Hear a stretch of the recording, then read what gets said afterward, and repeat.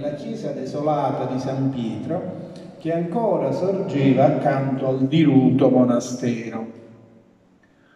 Ora, noi sappiamo da una serie di sante visite eh, di vescovi sorrentini e massesi che questa chiesa continuò ad esistere sempre più fatiscente fin nel pieno del XVIII secolo e riusciamo pure a ricostruire da varie fonti un'iscrizione latina conservata da una lapide esterna. Non ve la leggo, non è essenziale. Comunque in questa iscrizione si immagini che la Chiesa parli in prima persona e proclami l'abate Ferdinando Bartolomeo Gazzo di Napoli mi fece piamente riparare nel 1490 durante il regno di re Ferdinando d'Aragona. Questo stava scritto fuori dalla chiesa. Dunque, i Folengo videro questa chiesa qualche decennio dopo i lavori di eh, ristrutturazione voluti da questo abate Gazzo, lavori che giustamente sono stati messi in relazione con i danni causati dal catastrofico terremoto del dicembre 1456 a cui poterono forse aggiungersi altri danni dovuti a sismi successivi. E questa cosa dei terremoti eh, dovremo sempre tenerla presente quando parliamo di edifici, di case che sono scomparse nella nostra terra. E allora torniamo all'epistola di Giambattista. Leggendola per intero, in realtà si capisce che lo sfacelo del monastero di Crapulla in realtà è una metafora ed è una metafora del più grave sfacelo che minaccia la cristianità sotto i colpi terribili inferti dall'eresia. Eh, lui soffre per gli eretici, per gli infedeli che attentano alla vita della Chiesa. E non aveva affatto torto Giambattista, tutto sommato, nel piangere per le terribili tempeste che la Chiesa affrontava in quel periodo. Proprio mentre egli si guadagnava il ritorno fra i benedettini con un rigido eremitaggio, l'abate commendatario di quel monastero un tempo splendido, cioè lo conosciamo, no? Da Feltro, ecco, tale Tommaso da Feltro amministrava con disinvoltura i notevoli introiti di cui Crapolla ancora godeva, perché il monastero era distrutto, la chiesa era semi-abbandonata, però eh, diciamo l'ente benedettino, l'ente eh, San Pietro aveva delle, dei, dei, beni, dei, dei possedimenti infiniti, fra cui quello di Vico di cui eh, dicevamo poco fa, oppure ehm, a Sant'Agata, ci arriveremo. Ecco qui.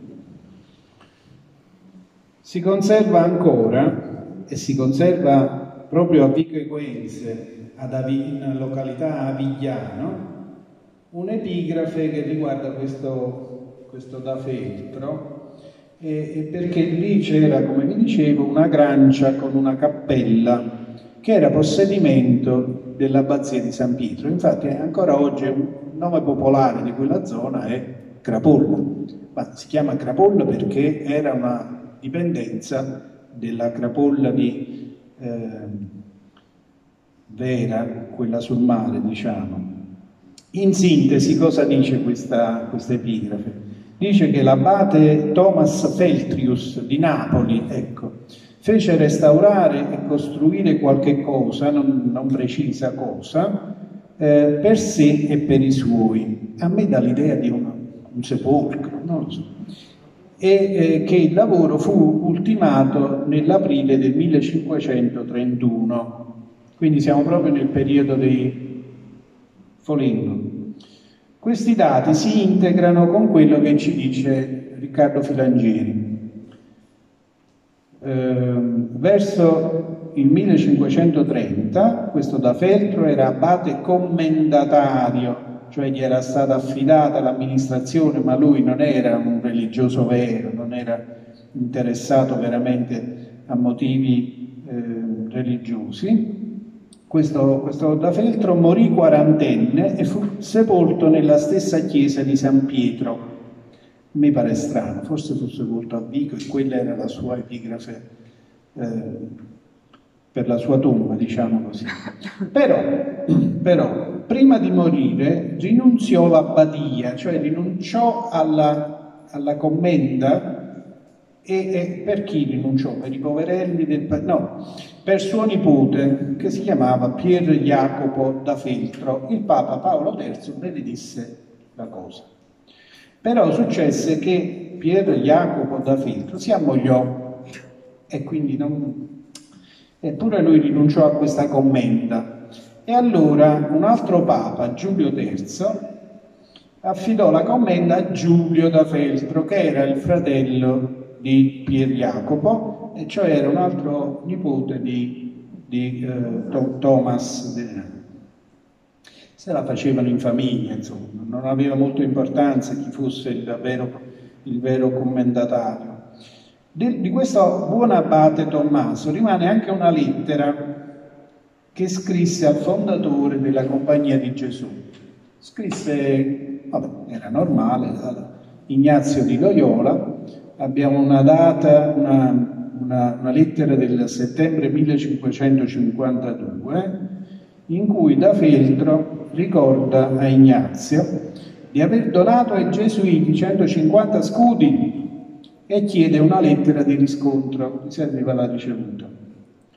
Poi, anche a nome del nipote Giulio, che in quel momento era il titolare della commenda, propone un accordo.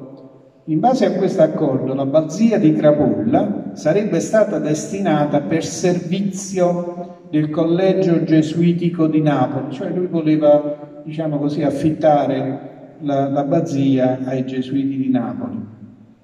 Però in cambio i gesuiti avrebbero donato una cifra consistente a Giulio, il nipote, sua vita durante, per tutta la vita, sopra i frutti di detta abbazia, cioè si commerciava allegramente di questi beni.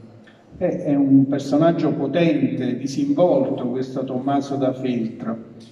Morì, la cosa bella è questa, se morì a 40 anni come scrive il Filangieri, poiché ancora viveva nel 52 quando scrive ad Ignazio di Loyola, e aveva circa 20 anni quando nel 31 era abate di Crapolla e fece apporre l'epigrafe ad Avigliano, quindi era giovanissimo. E, e, soprattutto non cessò mai di godere in qualche modo dei cospicui introiti dell'abbazia e di, gestirla, di gestirli disinvoltamente anche a nome dei nipoti in pratica. Ma in realtà anche il nipote che gli subentrò, questo Giulio, non era di pasta diversa. Di lui sappiamo, sappiamo qualche cosina. Di lui si lamenta l'arcivescovo di Sorrento Donzelli. Eh, questa notizia forse la devo a Maria Grazia Spano. L'arcivescovo di Sorrento Donzelli nel 1580 descrive lo stato di abbandono in cui versava la grancia di San Giacomo a Sant'Agata Ecco, la grancia di San Giacomo a Sant'Agata, che pure apparteneva all'abbazia di Crapullo, e le penose difficoltà dei carmelitani cui era affidata. L'abate, scrive l'arcivescovo Donzelli, si presentava solo per riscuotere le somme che gli erano dovute. Eh, disinteressandosi di salvare dall'abbandono l'abbazia di Crapolla e la grancia di San Giacomo, questa gli interessava. Poi c'è anche una, poi la, la, smetto con questa cosa familiare, Giulio da Feltro ebbe delle gravi liti con un chierico spagnolo, doveva essere un altro avventuriero questo qua, che si chiamava Fabrizio della Penna. Fabrizio della Penna lo fece arrestare con accuse pesantissime fatte per venire alla Santa Sede. E infine nell'86 lo sostituì voleva il suo posto e quindi lo sostituì come abate commendatario di Crapulla. Ora, come poteva sopravvivere questo povero monastero, questa chiesa, affidata a cotali personaggi? Ecco, in ogni caso è, è stridente, è stridente il, il, confronto fra questi prelati secolari, questi feudatari in pratica, che grazie all'istituto sciagurato della commenda si arricchivano a spese dei cenobi, dei monasteri. E, e stride la differenza rispetto ai nostri eh, benedettini mantovani che erano venuti a espiare chissà quali dispute teologiche, chissà quali atteggiamenti irrispettosi. Magari i folengo ci credevano, eh, invece questi si arricchivano. Eh, e soprattutto Giambattista era angosciato dalla crisi morale della Chiesa, dal dilagare dell'eresia luterana, dalle minacce musulmane, l'abbiamo, compreso. La fine dell'antico insediamento benedettino di Crapulla era in ogni modo segnata. Dopo la rovina del monastero seguì anche quella lenta ma inarrestabile della Chiesa. Vi faccio vedere alcune, alcune slide che illustrano questo triste processo. Ecco, questo che vedete è un disegno di Teodoro Ducler c'è scritto sotto le rovine di Crapulla, si trova al Museo Correale di Sorrento, è stato recuperato e pubblicato dal nostro amico eh, Mario Russo, è sempre un'occasione buona per ricordarlo, è stato pubblicato in un bel volume di qualche anno fa, purtroppo è molto, molto rovinato, molto sciupato, però insomma in questo disegno datato 1860 ancora si riconoscono eh, delle mura, delle arcate, c'era ancora una, una, significativa memoria della, della, Chiesa, chissà se era la Chiesa, sì forse era la Chiesa, il monastero già era andato via da un pezzo. E, e naturalmente poi questi gli arredi della chiesa furono, furono venduti, spostati. Questo per esempio è il fronte battesimale dell'abbazia di Crapulla che ora si trova nella chiesa di Sant'Agata. Dico bene? Dico bene, io non lo sapevo, ma mi aiutano in questa ricerca e ci sarà sicuramente qualche, altro, qualche altra cosa che è andata a finire in altre chiese della zona o chissà che fine ha fatto. E questa invece è, una, è, la situazione attuale, questa è la, la solita cappellina, l'abbiamo capito, no? La cappellina edificata nel 49, ancora ci sono delle colonnine, delle colonne spezzate, ancora si riconosce, si rintraccia qualcosa del passato di questo luogo. Ed è la situazione di oggi, diciamo così. Però a questo punto passiamo anche al tredicesimo nano, tredicesimo dei Pomiliones, quelli i dialoghi di Giambattista, perché è specificamente dedicato a, al nostro territorio, cioè in particolare ai nomi dell'eremo di Crapolla e della città di Massa, cioè l'etimologia, perché? Da dove viene il nome Crapolla, da dove viene il nome Massa, eh, chi sono i protagonisti di questo dialogo? Sono Giambattista Folengo, lui stesso, eh, l'autore stesso, che però si, si, chiama con un nome fittizio, lui si, si chiama Crisogono, vabbè, ma è lui insomma, e poi c'è un dotto massese, un, un vecchio signore massese, da un, da, il nome pure sarà fittizio, sicuramente si chiama Lisandro, quindi parlano Crisogono e Lisandro.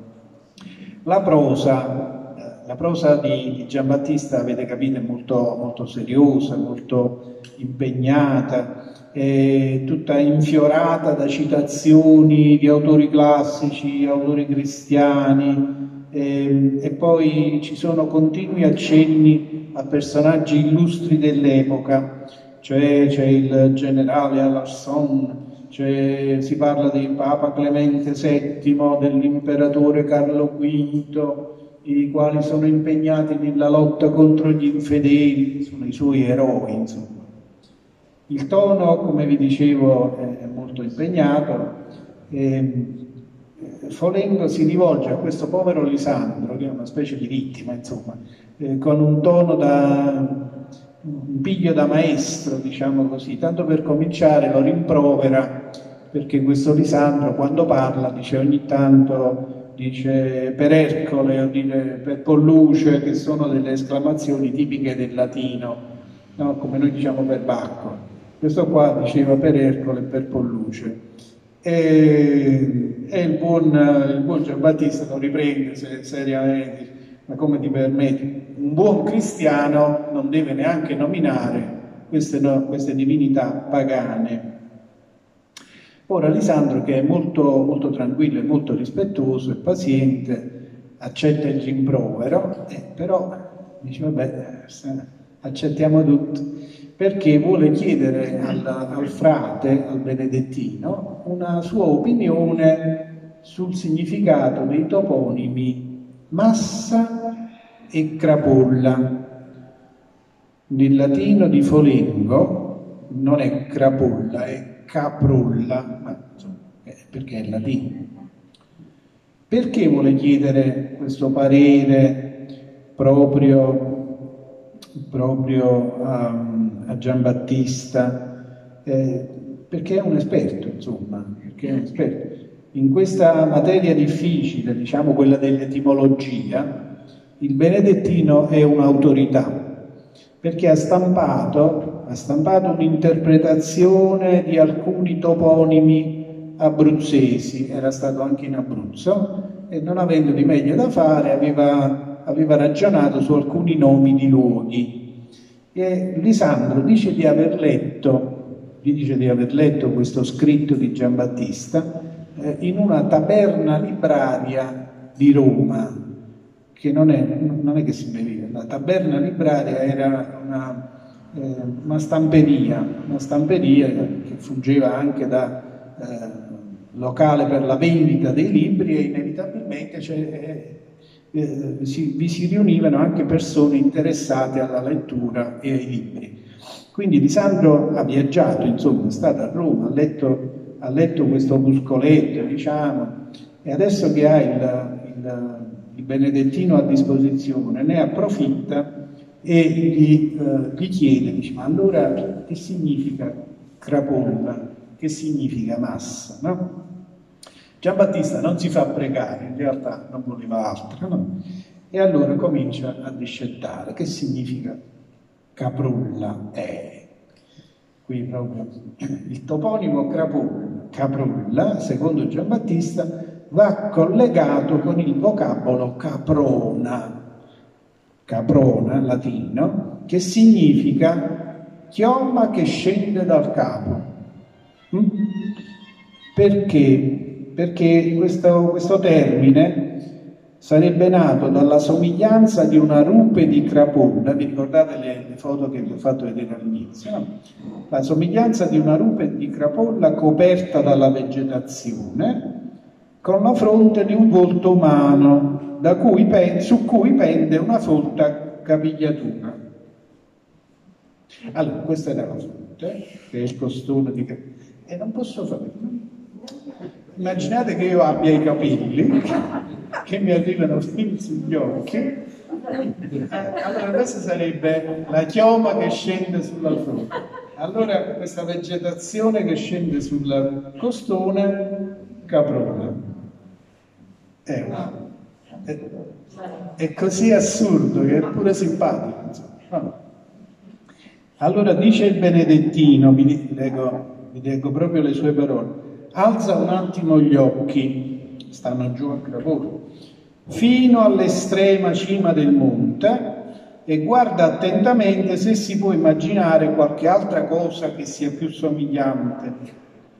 Osserva come quell'erto costone che sporge sulla vetta, palesi a guisa di un volto umano, una specie di fronte, ecco, quella è la fronte di un viso Da quel costone fino al recinto delle case che stanno giù, su un pendio più dolce, si spandono come sulla fronte di un uomo, formando una bellissima comigliatura, prima gli ulivi, poi un mirteto che cresce intrecciato a svariati arbusti. Fantasia. Una gran bella fantasia.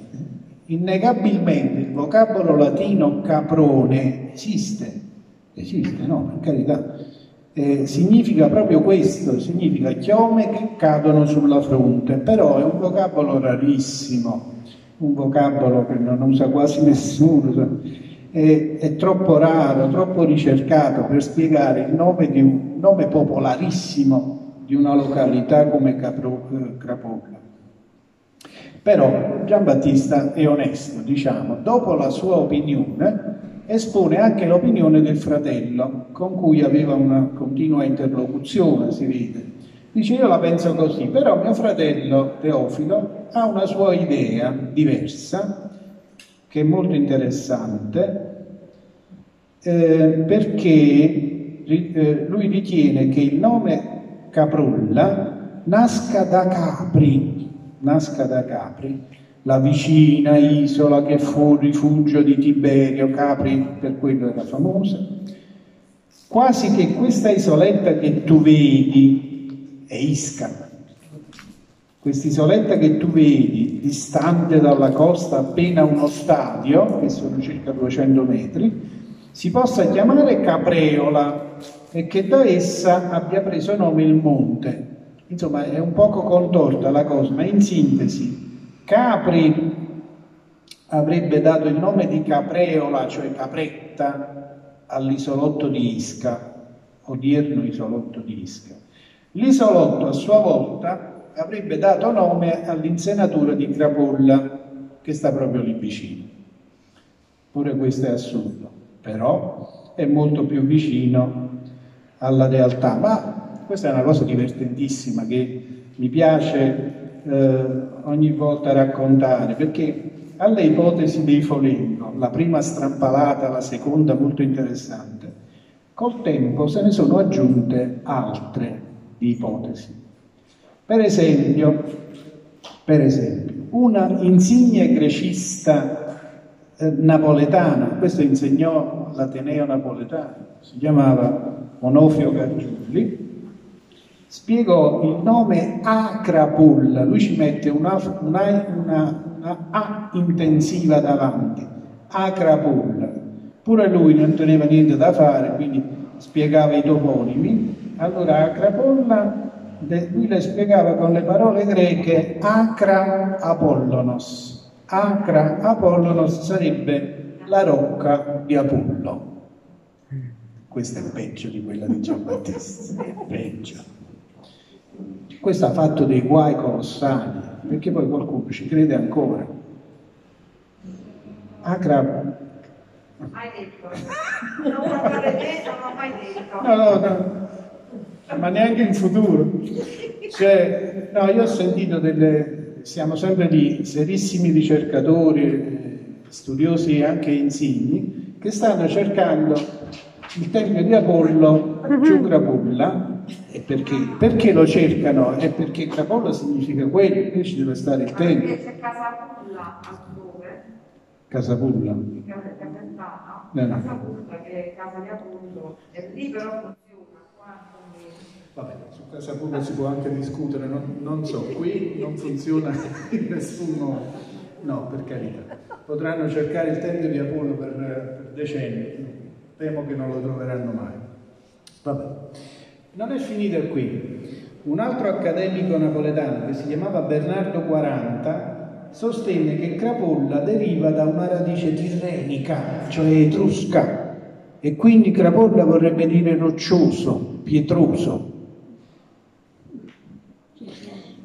Poi arriva Norman Douglas. Ah.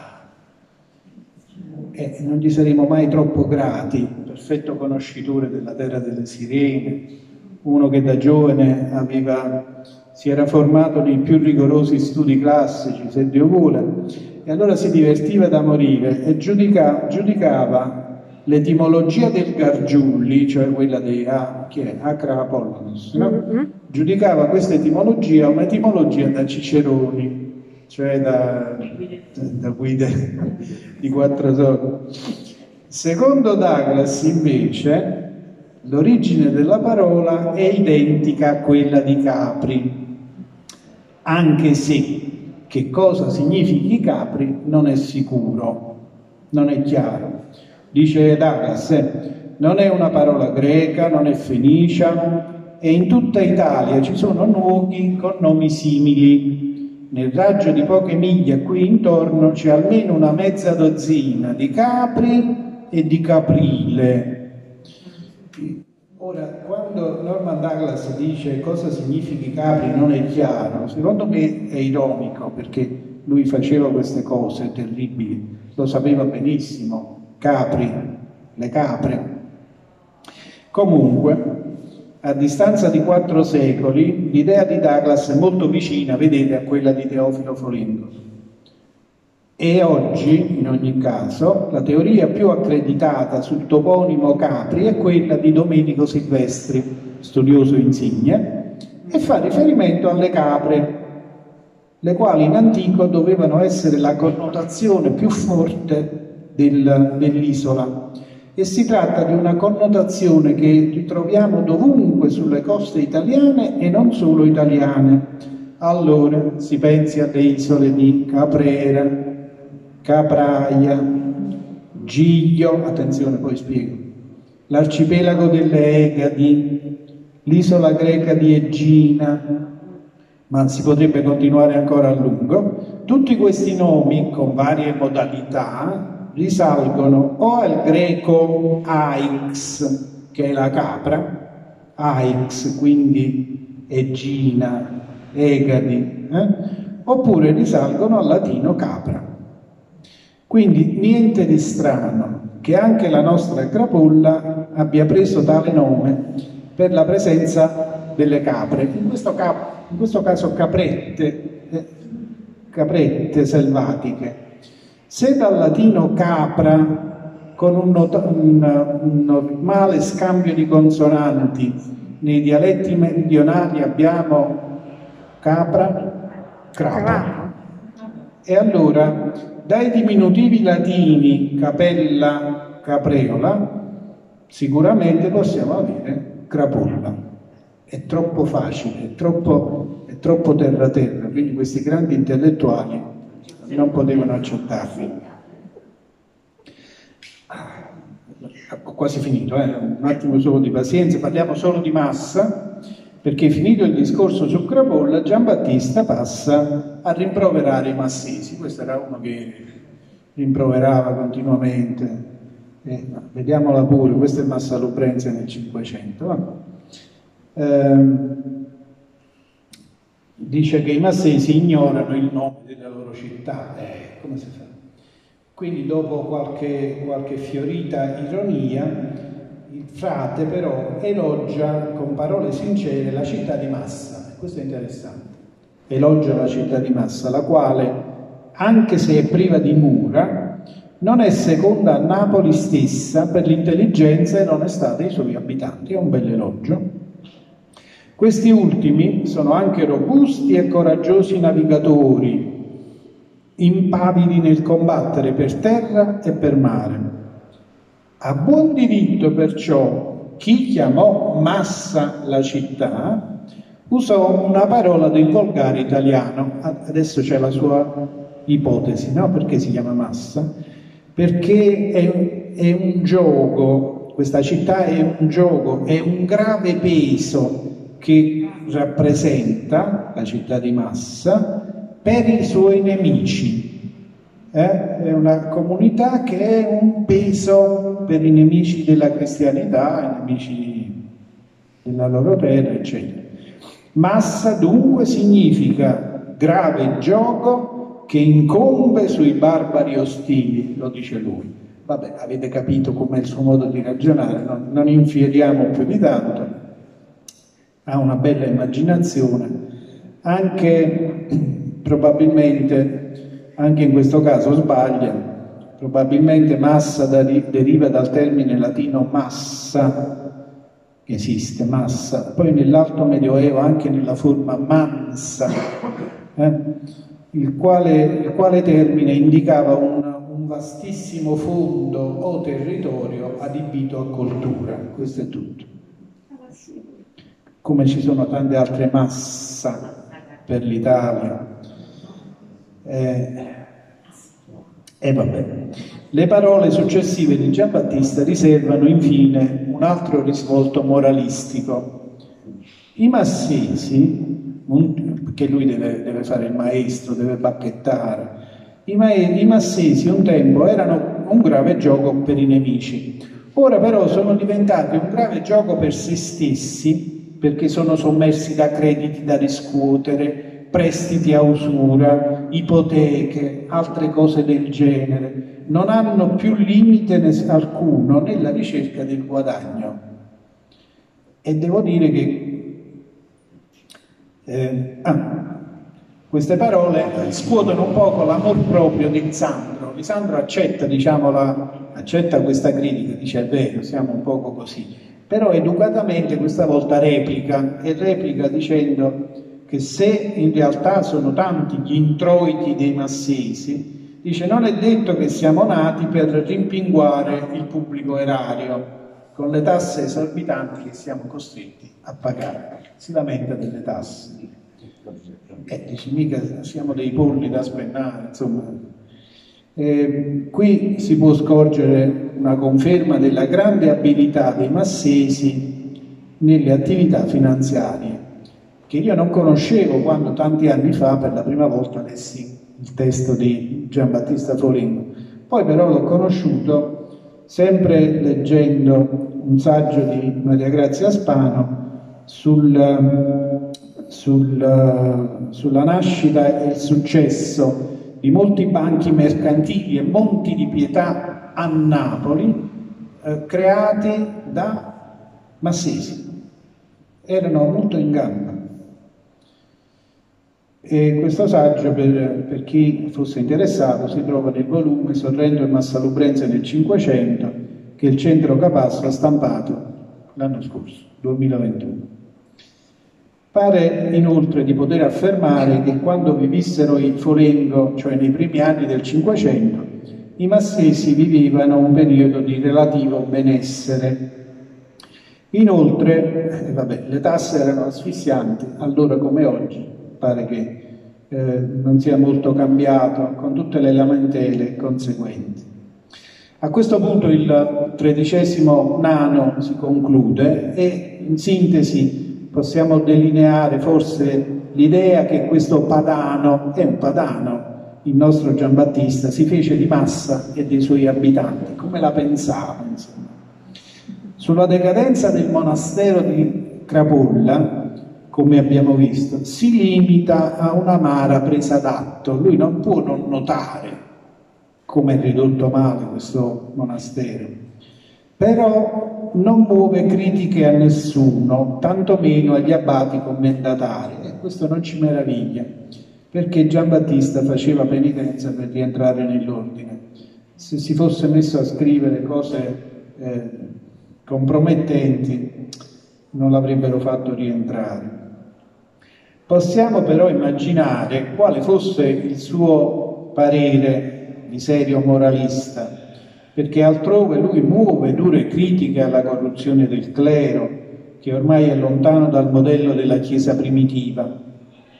Del Massesi poi ammira le grandi doti di navigatori, di combattenti, specie contro i barbari infedeli, i Massesi si segnalarono in alcune battaglie navali importanti, e apprezza pure con qualche rilievo critico per l'eccessiva sete di guadagno l'abilità nei commerci e negli affari. Stranamente però il Benedettino non menziona le attività agricole, gli allevamenti di animali che davano da vivere alla maggior parte della popolazione. In questo ci appare diverso da suo fratello Teofilo, vedete Teofilo è più vicino al mondo contadino, insomma, e poi Teofilo dalla scoperta eh, esilarante e amara del mondo contadino aveva tratto lo spunto centrale del suo capolavoro che, come eh, vi ricordate, è il Baldus. Forse lo sguardo di Giambattista, che era pur sempre lo sguardo di un antico aristocratico, aristocratico modesto, provinciale, decaduto, ma sempre aristocratico, e poi era lo sguardo di un grande intellettuale, Dicevo, questo sguardo non era avvezzo a posarsi sugli umili lavoratori dei campi, troppo intento a scrutare le mosse i conflitti dei protagonisti della politica internazionale, cioè il Papa, gli eretici, gli imperatori francesi, le potenze musulmane. Il lavoro agricolo, che poi lui stesso praticava nell'eremo di Crapolla e anche altrove, poteva essere una forma di preghiera, lo prescriveva la regola benedettina, no, ora et labora. Poteva essere una forma di espiazione, ma non suscitava il suo interesse. Grazie a voi invece per aver ascoltato con interesse questa, questa relazione. Grazie, se ci sono domande.